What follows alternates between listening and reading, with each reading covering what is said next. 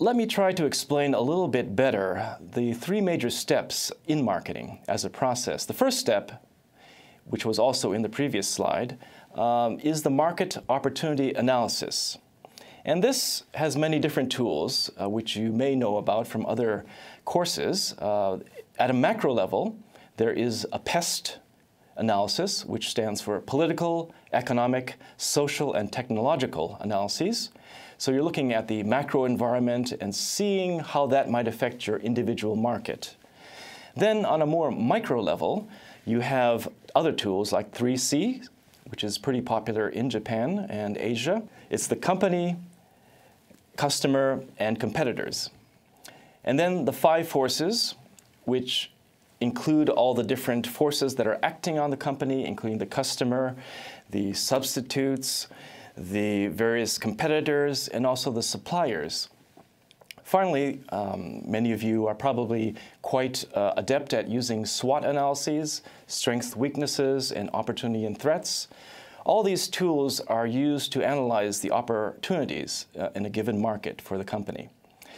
The next step is the marketing strategy per se, and this involves segmenting the market. Nobody, at least nowadays, is very difficult for a company to produce one product that serves everybody.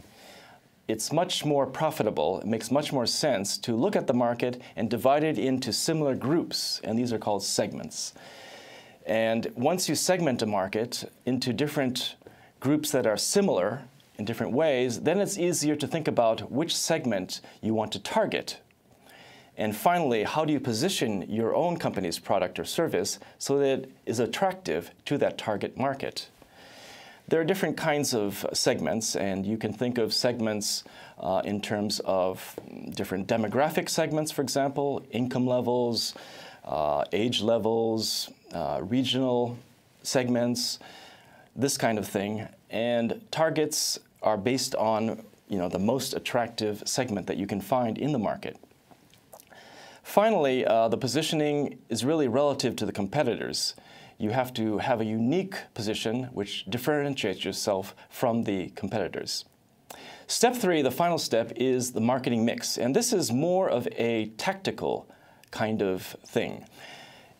The four P's of marketing, which are product, price, place, and promotion, represent the different aspects of the marketing plan that you can change throughout the life of a strategy. A strategy typically would last for three to five years, whereas a marketing mix, which is more tactical, may last for a year or even less.